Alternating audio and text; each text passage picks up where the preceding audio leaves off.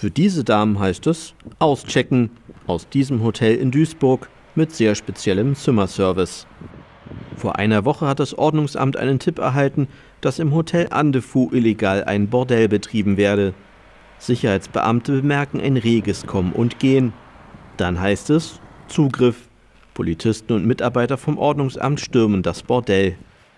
Das Ergebnis der Razzia? Rumänische Frauen gehen illegal dem Geschäft der Prostitution nach. Doch das ist jetzt vorbei. Der Betrieb wurde geschlossen. Doch dabei bleibt es nicht. Dem Hotelbesitzer droht ein Bußgeld von 5000 Euro. Zusätzlich bekommen drei Frauen und ein mutmaßliches Zuhälterpaar eine Anzeige und ebenfalls ein Bußgeld.